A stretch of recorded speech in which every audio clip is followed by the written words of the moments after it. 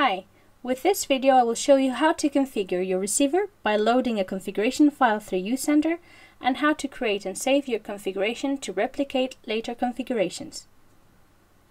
You will find a list of configuration files selecting the Support tab on our ArduSimple website.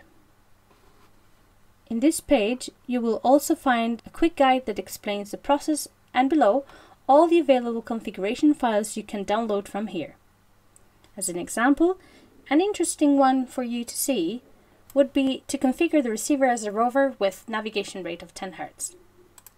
Download and save the file. Open u-center software and connect your receiver. Check that your receiver has the latest firmware version. You can check how to update your firmware through our previous video tutorial from our u-center Made Simple series. My board is currently configured as a rover with navigation rate of 1 Hz. Let's check now how the data is being received.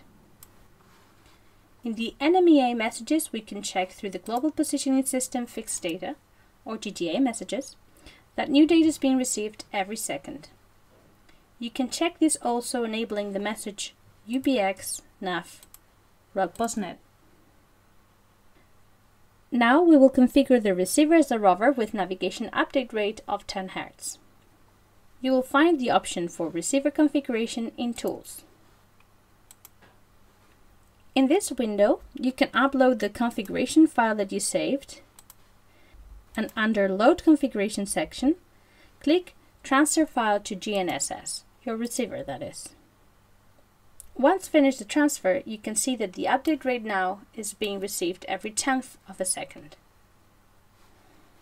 It is important to remember that you must save the changes in configuration, otherwise you will lose all previous configuration steps. For this, select twice configuration messages under UBX CFG CFG messages.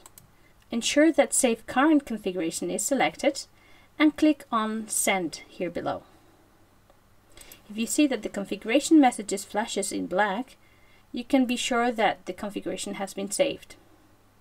On the other hand, you can create your own configuration for your GPS receiver and you may wish to use this configuration to configure other receivers you may have. For these, save your configuration in a file using the same receiver configuration tool. Give a new name to your configuration file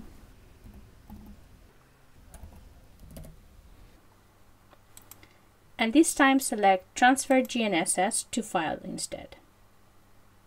Well, now you know how to give your receiver a different configuration and how to save your own configurations for future configurations you may wish to reproduce. Thanks for watching!